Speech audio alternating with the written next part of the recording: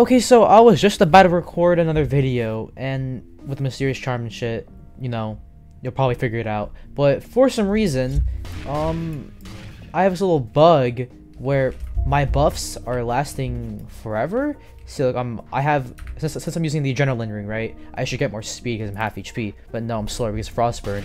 And I also have permanent bloodthirst. And you might be asking, well, Andy, why don't you just reset? Well, if I reset, my buffs are only taken away temporarily or cooldowns, and then the moment I activate it again, it just it, it doesn't it, the timer just isn't going down.